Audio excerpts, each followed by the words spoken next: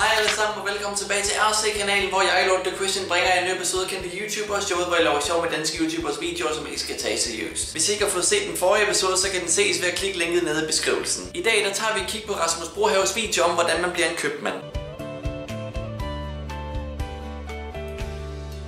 Først og fremmest kan vi se, at Rasmus Brohave skal iklædes noget fint købmandstøj. Jeg glemmer aldrig de gange, hvor jeg var i praktik, dengang jeg var under uddannelse som købmand. Jeg var så forfærdeligt til at binde slips. Så de der gange med, at jeg får udleveret noget tøj, jeg skal have på, og chefen han står der, jamen øh, vi ses om 5 minutter, Christian, nede i butikken, når du er klar. Så kommer jeg altid sådan listende ind en halv time efter. Hvad, Christian, hvor har du været? jeg er typen, der ikke kan lide at lyve, så jeg kunne ikke finde ud af at binde slips. Men så kan købmanden også heldigvis selv se dum ud en gang imellem. Altså den købmand, som Rasmus Brohave han har fundet og skal filme, han virker ikke helt til at vide, hvad fanden det er, han laver.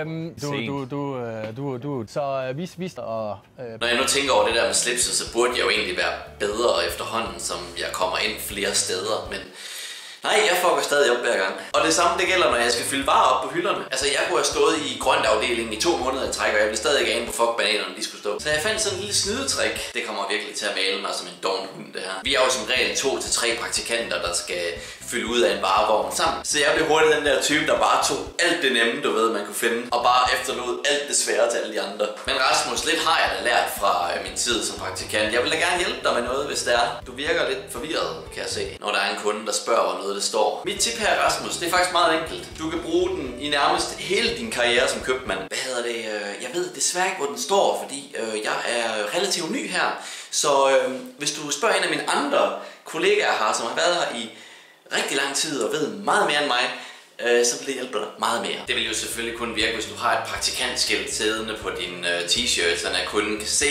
at du faktisk ikke lyver. Fordi kunder de er jo selvfølgelig dumme. Åh, oh, han har jo et praktikantskilt på. Jamen, han er jo ny. Så længe chefen han sidder oppe på kontoret og ikke kan gøre en skid, så kan du fint rende rundt med det der praktikantskilt der og spille herligt dum hele dagen som praktikant. Og stadigvæk for fuld løn, ligesom alle andre. Der er forresten lige noget, jeg tænkte over ved den her video. Øhm, Rasmus, hvad var egentlig aftalen mellem dig og den her butik, siden du måtte filme dig? Var det, at I skulle vise alkohol hele tiden, eller hvad? Dine ser, Rasmus, de skal have noget alkohol. Jamen, det er altså primært børn, der ser mig. Ja, og hvad så? De har sgu godt noget alkohol. Vi kan også se her, at Rasmus han skulle prøve at stå ved kasselinjen. Jeg har engang prøvet, hvor øh, dem, jeg var ved praktik ved, de lejede sådan en lille lokale, hvor vi havde nogle ekstra varer ved omkring juletiden. Og der blev jeg så sat op helt alene, fordi øh, han åbenbart tænkt, at jeg var fucking god. Det forstår jeg ikke, men ja.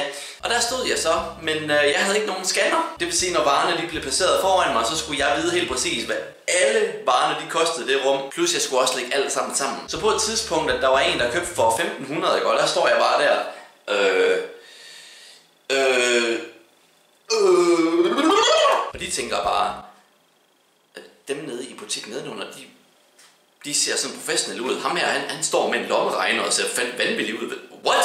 Du har ikke set Rasmus video om, hvordan man bliver købmand, har du? Øh, nej, det har jeg ikke. Og selvfølgelig, når man nu lige har en YouTuber over, der skal man da lige udnytte det, at man lige kan få en selfie med ham. Men ved I hvad, det var alt for denne video, drenge og piger. Jeg håber virkelig, at den gav godt grin. Og hvis den gjorde, så vil I meget gerne vise det ved at smide videoen et like. I må også meget gerne følge på mine sociale medier, Instagram, Facebook og Twitch. Helst gerne Instagram, fordi jeg er næsten op på 2000 følgere.